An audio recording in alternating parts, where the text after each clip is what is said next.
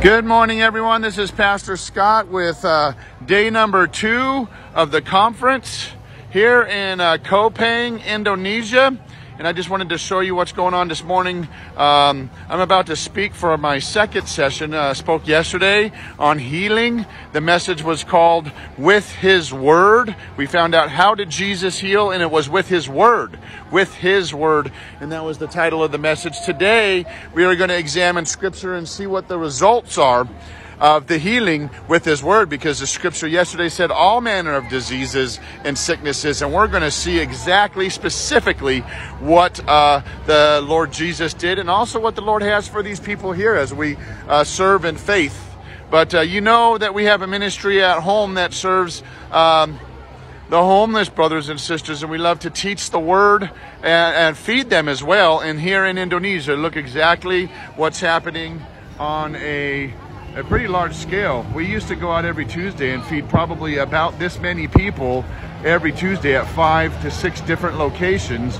And then every Sunday, without fail, come rain or shine, uh, we are feeding uh, probably anywhere from 30 to 50 homeless brothers and sisters, or I would like to say not homeless, but in transition from where they are to where God wants them to go and to be as they uh, line their life up with the Word of God. So we just thank these uh, precious servants. And most of these people that you're seeing here are either blind or partially blind or have some type of uh, disability disability they had.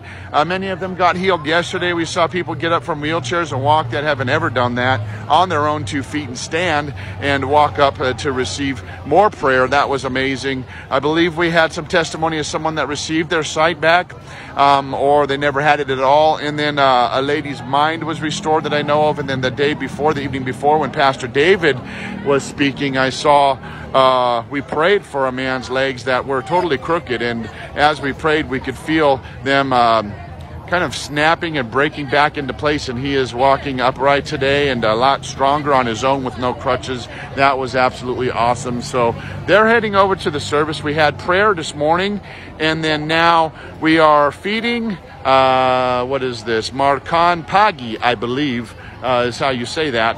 And uh, yeah that's what we're doing. And then after that, in about uh, looks like about 30 minutes time, we'll be speaking uh, from 8 o'clock to 10 is our session. So keep us in prayer. God, well, actually, this will be posted later. So you have already been praying.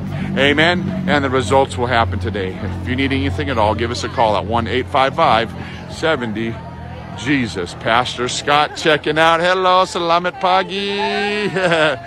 Amen. Pastor Scott and Diana checking out from beautiful Indonesia at the theology school uh, attached to JKI, Pastor Addie and the team. So God bless you.